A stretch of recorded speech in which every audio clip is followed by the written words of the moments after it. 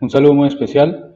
Les habla el ingeniero agrónomo Jesús David Quintero Caleño, investigador de la Universidad Francisco de Paula Santander. Y para mí es realmente un honor presentar a continuación la siguiente ponencia. Cabe resaltar que esto es el, esta ponencia nace a partir de un trabajo de, de grado del estudiante Camilo Andrés Padilla, coautor de esta ponencia, estudiante de Ingeniería Mecatrónica de la Universidad de Pamplona. Esta ponencia eh, lleva por título Diseño e implementación de una estación agroclimática autónoma, económica y móvil para el análisis de datos en forma remota, con miras o para la agricultura de precisión. Inicialmente se planteó la necesidad de una estación meteorológica, más precisamente agroclimática, que supliera las necesidades de la agricultura de precisión y además tuviera como valor agregado que fuese móvil, autónoma, con una conectividad remota y obviamente a bajo costo, buscando ser asequible para el agricultor colombiano. Y todo esto sin, sin sacrificar la calidad en sus mediciones y en su, en su reporte. En este caso, para este prototipo se tuvo en cuenta la variable humedad de suelo y eh, otras variables más de índole ambiental, como la temperatura, la humedad relativa, ¿sí? Funciones o mediciones que hace una estación meteorológica básica, pero pues con el plus de que fuese más económica.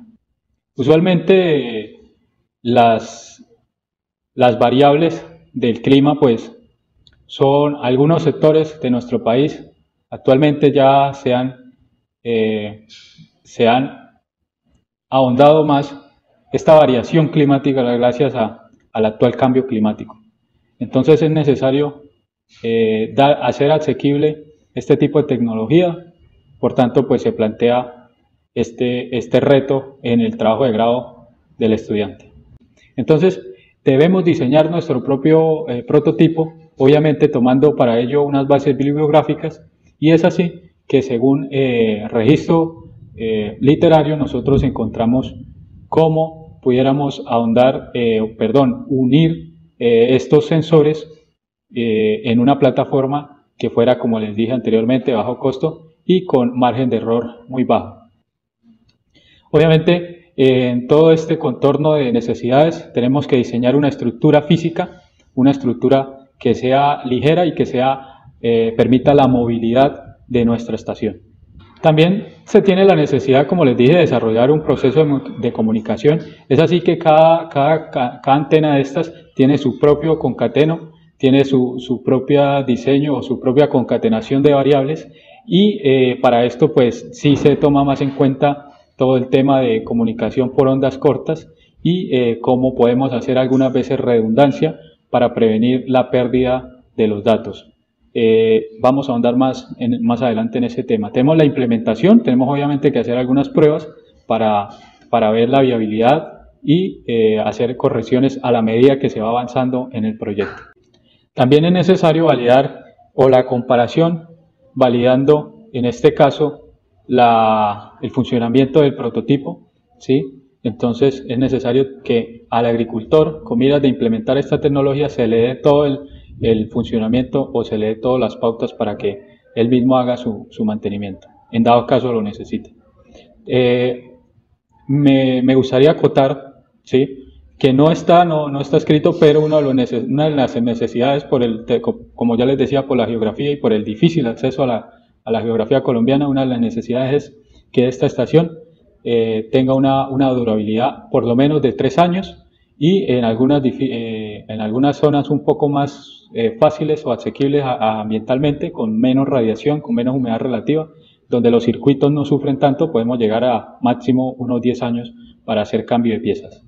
Tenemos que también seleccionar los sensores, para eso se, se, empezó o se tuvo como método utilizar los sensores, eh, ir utilizando sensores de más bajo costo hasta más alto costo para ir probando, en este caso, la, la fiabilidad de las tomas de los datos. Eh, en este caso, esto es un sensor láser, eh, un modelo eh, genérico, como pueden observar, es lo que comúnmente se conoce como eh, sensor de, láser herradura y lo que nos permite es la implementación de este láser.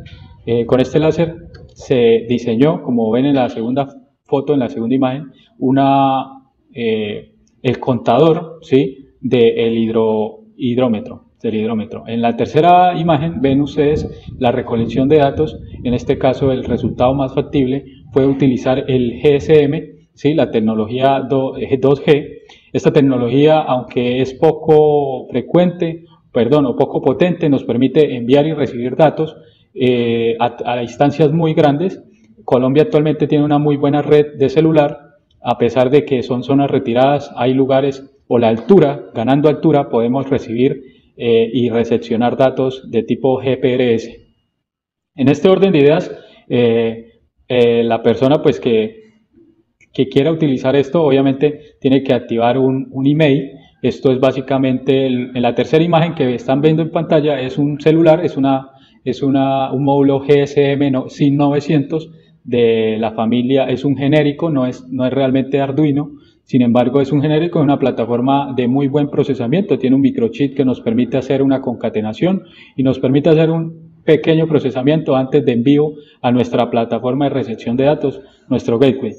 Eh, además tiene cómo adherir una antena, que más adelante la vamos a ver, para potenciar este, esta recepción de datos o esta emisión de datos.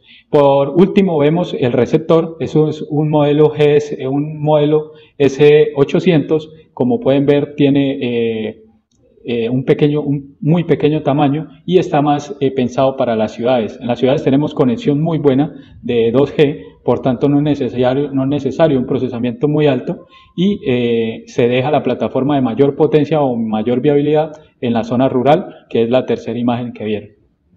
Directamente, nosotros, aquí, aquí pueden ver ustedes una visual del hidroagremómetro, cabe acotar que la empresa que aparece ahí fue financiadora de, la, de este proyecto de grado. Tenemos también un plus que es el diseño en 3G tenemos un diseño en 3D de, las, de, la, de la parte física o, o, el, o la parte eh, física pues, del hidroagremómetro. Podemos ver ahí las paletas que aparecieron en el video. Entonces, como les decía, en este caso, eh, la recepción se hace a un gateway, a un servidor propio de cualquiera de las empresas o agricultores que quieran procesar sus datos en sus fincas. Tenemos también que se hizo una construcción física, como les dije, hay que presentar una, una construcción, que es la, la, cajita blanca que ven en sus pantallas, es una, un receptor donde va a ir guardado toda la plataforma de recepción y emisión. Esta plataforma o estas cajas son, son blindadas al medio ambiente, permiten la, el aislamiento de humedad, que es como el mayor eh, factor que deteriora las, los, los, los chips y todo el, el, el tema electrónico. Eh, también pueden ver uno, un, un, electrodo que lo que hace es medir, este, en este caso las mediciones fueron muy viables, obviamente se tuvo que manipular por una, se tuvo que manipular y hacer unos procesos de, de, validación de datos, ya que estos sensores, aunque son de muy bajo costo y muy asequibles, eh, las mediciones tienen mucha fluctuación, por lo que hay que mantener o hay que generar un modelo matemático que haga una estabilización de los datos, obviamente eh, a, teniendo en cuenta la bibliografía y toda la investigación que esto, este, en este caso las investigaciones de mediciones climáticas tienen muy buena relevancia y tienen muy buena profundidad.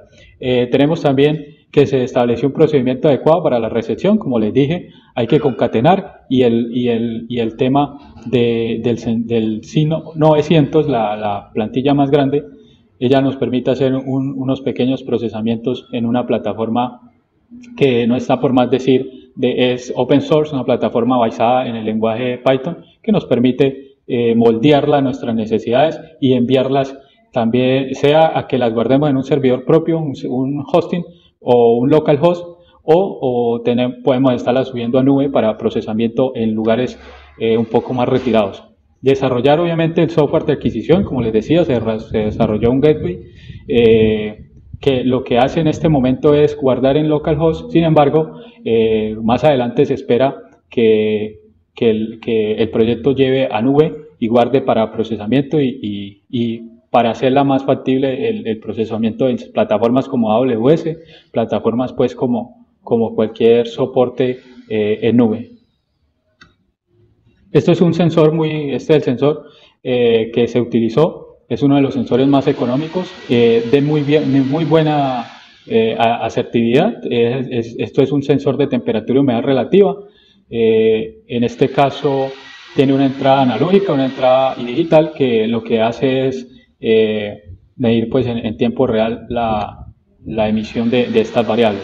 Tenemos que, también se tuvo que hacer un procedimiento de comunicación, como les dije, y eh, es, es, importante, es importante eh, mencionar que, que, este procesador o, este microprocesador, perdón, que tiene, o este microchip, ¿sí? controlador, que tiene la, la tarjeta C900, nos permite eh, hacer alguna matemática ¿sí? hablando pues de lo que tiene que ver con la regresión lineal que, que, es necesaria para la estabilización de la variabilidad de la toma de datos que tienen estos sensores, por ser tan, tan económicos, a veces fluctúan mucho eh, y es porque de pronto hay algún tipo de, de eh, cambio abrupto en la humedad del ambiente, algún viento o algún, eh, algún despeje de alguna nube calienta directamente y hace que el sensor se dispare.